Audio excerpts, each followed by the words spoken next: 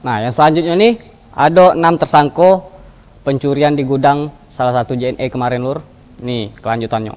Tim penyidik unit Reskrim Polsek Tlanepura mengirimkan SPDP kepada Kejaksaan Negeri Jambi terkait kasus pencurian puluhan paket JNE di kawasan Pematang Sulur Kota Jambi yang kemarin nih. Kayak mana informasinya? Kita tengok di pantauan Bang Jack.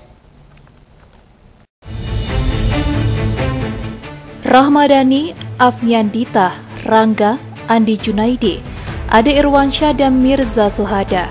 Tersangka kasus pencurian puluhan paket di gudang ekspedisi JNE di kawasan Pematang Sulur, Kecamatan Tlanepura, Kota Jambi beberapa waktu lalu.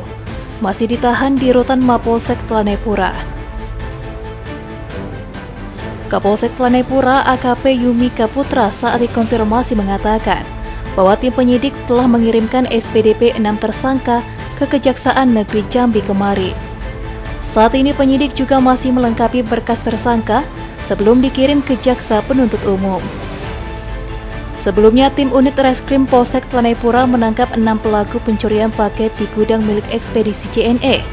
Dari hasil pemeriksaan sementara, salah satu dari enam pelaku merupakan karyawan JNE, sehingga dengan mudah melakukan duplikasi terhadap kunci gudang. Akibat perbuatan para pelaku, kerugian JNE mencapai 160 juta rupiah.